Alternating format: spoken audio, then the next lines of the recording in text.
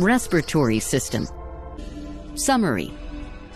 In the thorax region, the rib cage and the diaphragm are observed, which play a vital role in respiration. Present within the rib cage are the pleural membranes, which enclose the lungs.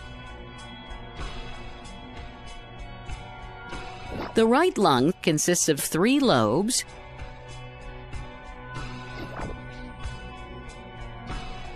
while the left lung has only two lobes.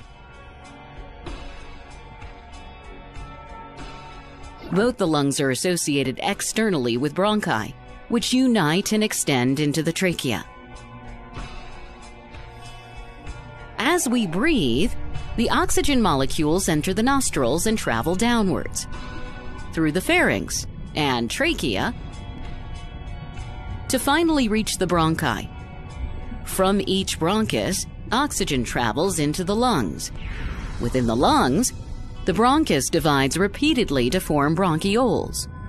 Oxygen travels through these bronchioles and reaches the alveoli, each of which is surrounded by a network of capillaries.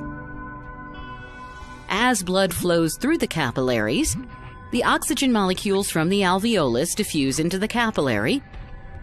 This causes oxygenation of the RBCs.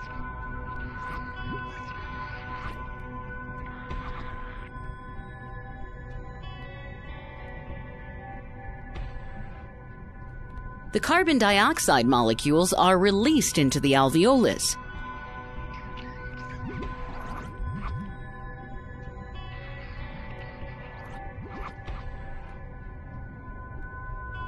They are collected in the alveolar chamber, and then from the alveolus, it travels through the bronchioles.